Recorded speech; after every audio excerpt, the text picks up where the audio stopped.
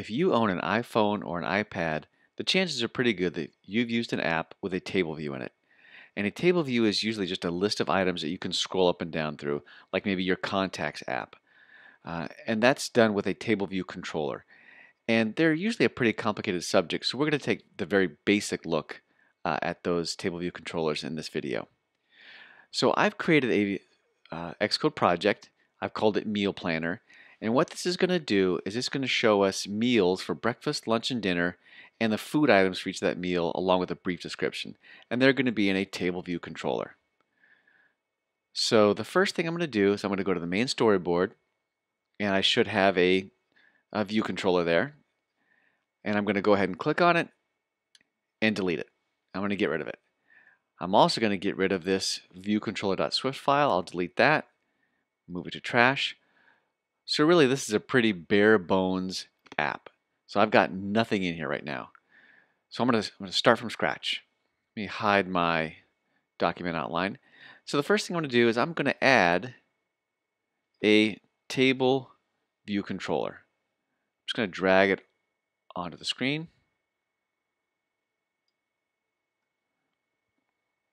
And you can see that it has something called a prototype cell, which we'll talk about in just a second. Um, but before we do that, I'm going to I'm going to embed this in a navigation controller to help me navigate through the cells. And I probably won't use the navigation controller uh, in this video, but it's a good habit to to embed your table view controller so you can tap on a cell and have it go somewhere else and give you more detail usually. Since this is my view controller, let's go ahead and add a viewcontroller.swift file so that I can control this. So I'm going to go to File, New, File. I'm going to make sure it's a Cocoa Touch class. And I want it to be a subclass of Table View Controller. And so I'm going to call this Food Table View Controller since it's going to show me food items. And this looks okay. I'll keep it in my meal planner group. Now I have a food table view controller.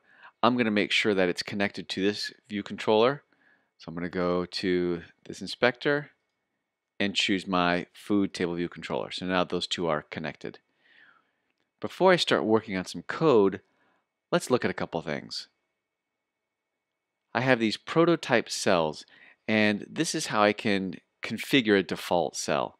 So if I click on that prototype cell, click on the attributes inspector, I can see I have a lot of options here. I can change the style into plain or grouped.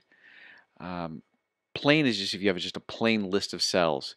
Grouped is when you have cells that are grouped by sections, and we'll talk. We're gonna we're gonna do that in just a few minutes. Let's quickly run this to see what happens so far. I'm gonna to see if we can see anything.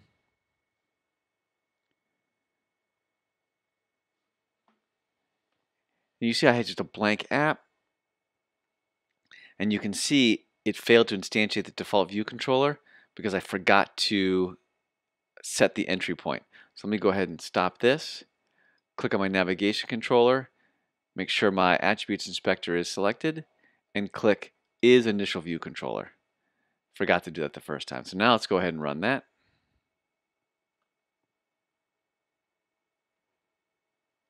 And you can see I have a list of cells and I can scroll up and down through that list of cells. That's pretty uninteresting right now because there is no data for that. So let me go ahead and stop that. And you can see that there can be potentially lots and lots of cells, um, some even thousands of cells. So how does it deal with the memory required to display all that information? Well, iOS is pretty good about um, only showing you what you need to see and keeping that in memory. And everything else it just loads as it needed. And that process is called dequeuing. And we're going to talk a little bit more about that in just a few minutes. So let's go ahead and configure our prototype cells. We're going to make sure that the style is grouped. And the other thing I need to do is give it a an identifier. So let me click on that cell and I have this reuse identifier, I'm going to call it food cell. I'm going to use that identifier uh, to refer to that cell in code. So I'll need to remember that I called it food cell. And the last thing I'll do instead of style, instead of custom, I'm going to make it subtitle. And you can see that when I choose subtitle, I get a cell title and then some detail underneath it. So I'll use this for information about the food I have. Okay, so I've configured my prototype cell and now I'm going to go ahead and start creating some data. And in order to do that, I'll need to create two model files. The model will represent my data. So I'm going to add a new file. It's going to be a Swift file these times. Remember, most uh, model files are, are Swift files. And I'm going to create a food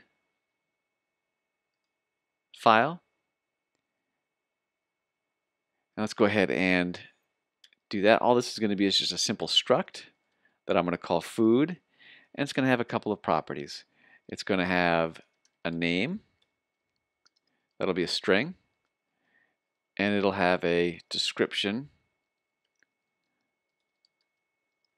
That will also be a string. And that's it for my, my food struct. Just a name and a description. I'll need one other file for this. And I'll call this meal. And I'll make it another struct. And a meal will also have oops, a name property. And then if you think of what a meal is, well, a meal is just a group of food items. So I'm going to need an array of food items as the other part of this struct. I'll call it food, and it will be of type array of food. And that's it for my meal struct. So I have two model files. One represents a food item, and then a meal file that represents an array of food items. So now I can go to my food table view controller and take a look at that. And you can see that unlike a regular view controller, there's a lot of stuff in a table view controller. Again, this is a subclass of table view controller. There are two methods here that are the bare minimum to run a table view. And these functions are the number of sections, right now it's at zero, and then the number of rows in section. So other than these two default methods that I, I need to have, there are a couple other ones that are pretty handy that are usually implemented. And the first one is this dequeue reusable cell. And we talked about dequeuing as the process by which iOS shows you the cells you need and then removes them as they scroll off the screen. So I'm going to uncomment this one because we'll need that. And the rest of these I don't need for right now for this for this particular app. Depending on what you're trying to do, you might need one or more of these. There is one more uh, function that I do need, and I need to be able to uh, give my sections titles. I'm going to add one more default method and it's called table view. I'm just going to scroll down. It's called title for header in section. And I'll implement the code in a little bit. Oops, let me just put return. Since I need to have return something, I'll just return a blank string for right now. Okay, let's try to run this really quickly to see if this works.